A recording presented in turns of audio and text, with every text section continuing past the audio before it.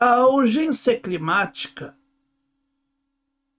é um tema tão importante quanto o desenvolvimento econômico, que muitos pautam como talvez o viés mais importante, sendo tão importante quanto a questão cultural, social e até mesmo a questão política. Num viés mais marxista do processo, se olha a história muito mais do ponto de vista econômico, estrutural, do que do ponto de vista humano, com suas questões próprias, que a humanidade apresenta ao longo dos tempos. Num viés mais liberaloide ou mais liberal, também vai se falar numa questão muito mais uh, econômica e um neoliberalismo que passa por cima né, do ser humano e das suas necessidades em prol de um projeto ou de uma concepção em que temos que valorizar o tal do progresso.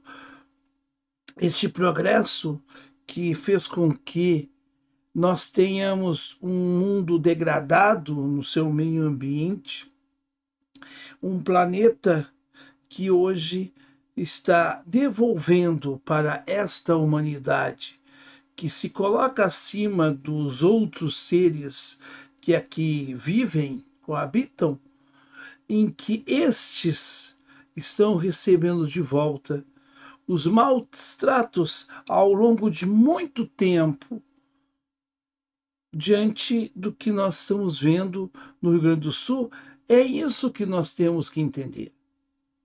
Em Porto Alegre, áreas em que era do Guaíba foram aterradas e o lago ficou, vamos dizer assim, sem o seu território natural. Aonde passavam cidades, onde tinham cidades, como é o caso de Eldorado do Sul, ali varreu-se, a água voltou para o seu leito normal, para a sua área normal, porque era a área dela. E efetivamente, no estado de São Paulo, cujo rio Pinheiros era um rio sinuoso, se canalizou ele de forma reta. Um dia, talvez, o Rio Pinheiros poderá cobrar o seu rumo natural, vamos dizer assim. Porque a natureza, ela é muito maior que as construções, vamos dizer assim, humanas. Numa concepção em que nós não nos tornamos naturais, porque nós nem nos sentimos parte da natureza efetivamente a urgência climática apresentada na crise vivida por pelo Rio Grande do Sul e por Porto Alegre e todas as praticamente todas as cidades do Rio Grande do Sul viveram uma consequência desses problemas com as cheias, uns mais que outros, mas enfim, todos os 497 municípios do Rio Grande do Sul foram atingidos de uma forma ou outra com relação a esta catástrofe climática causada pela ação humana. Não tem nada de ação divina. Deus nos permite fazermos as besteiras, mas Ele nos cobra, mas não de forma vingativa. Ele nos cobra através das suas leis sábias que faz com que a gente tenha que pagar pelos nossos maus atos. E aí, meus caros, a pergunta que não quer calar: será que as pessoas que estão vivendo esse tormento aqui estão aprendendo alguma coisa com tudo isto? Porque durante a pandemia a gente pensou que o povo brasileiro tivesse aprendido algo. E logo lá no processo eleitoral, nós vimos que ele não aprendeu nada. Bem como depois do processo eleitoral, com os atos golpistas do dia 8 de janeiro, com acampamentos golpistas em frente aos quartéis logo né, terminado o segundo turno das eleições. Enfim, nós percebemos que parte da população não aprendeu nada. E outra parte que acha que aprendeu alguma coisa também não aprendeu nada, porque tem um discurso falso de amor, um amor que é, na verdade, uma veneração que não consegue fazer, às vezes, a crítica que deve ser feita no momento certo. E eu estou falando aqui não só de petistas, não. Eu estou falando, inclusive, daqueles que, assim como eu, votaram em Ciro Gomes, por exemplo. Falo de muitos, sim, que não entenderam o que aconteceu nesses últimos anos no nosso planeta. Não falei no Brasil, mas o nosso planeta. A verdade é que as águas de maio que varreram cidades do Grande Sul, a Covid que ceifou 700 mil brasileiros, a dor do, do luto daqueles que enterraram seus parentes, seus entes queridos, e a indignação destes por parte de um tirano que aproveitou para simular quem estava sentindo falta de ar e também né, fazer todo tipo de zombaria.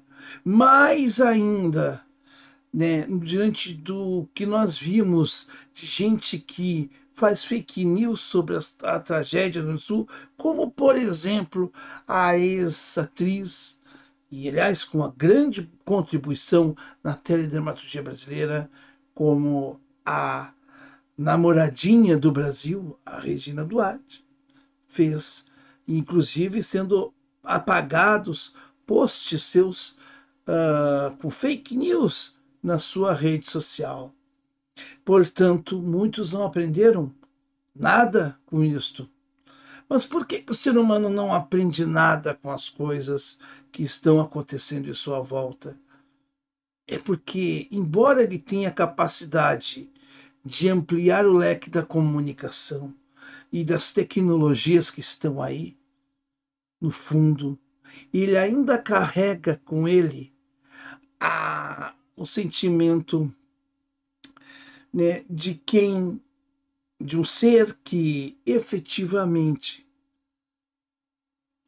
é tão mesquinho, tão pobre, não na essência uh, cultural somente ou até espiritual, mas pobre no sentido da sua formação antropológica, na sua formação humana. Portanto, nós temos os moralistas que, na década de 50, falavam tanto imoral e agiam de forma tão nojenta e abjeta, como bem retratados em, na minissérie, por exemplo, Nos Rebeldes, ou em outros autores da literatura brasileira que mostraram para o Brasil, através de suas crônicas, o que, que faltava para essa sociedade ser de fato uma sociedade que seja respeitável de verdade. Vivemos a égide das perpétuas, não da Igreja Católica, mas talvez das igrejas evangélicas e, quem sabe, até dos centros espíritas. Vivemos o período em que a ignorância se tornou um elemento bonito, um elemento que até então servia, vejamos bem, de deboche e de, de ser combatidas pelo humor, por exemplo. Hoje não mais. Por quê? Porque, infelizmente, muitos de nós não aprendemos nada. Ah, meus caros, a vida pode, e eu posso dizer uma coisa para os senhores: a vida pode não nos punir agora, mas o tempo ela nos pune.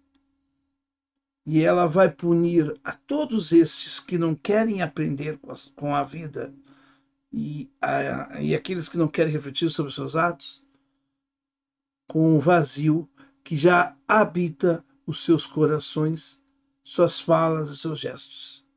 Estes são sofredores, mesmo quando estão em risos, quando estão, na verdade, não felizes, mas eufóricos do seu vazio existencial, clamando por socorro, pedindo para serem humanos. Mas para isto é preciso ter humildade para reconhecer os seus erros e dizer: Eu sou autor ou coautor desta droga toda, e não se isentando da sua responsabilidade, como muitos do Brasil fazem. Porque no Brasil, em que gosta de encher a boca para dizer que a classe política não lhe representa, é neste mesmo Brasil, estes mesmos que falam isso dos políticos, às vezes têm ações tão ou mais nojentas e abjetas que essa classe política que legitima toda essa droga que já veio malhada antes de eu nascer.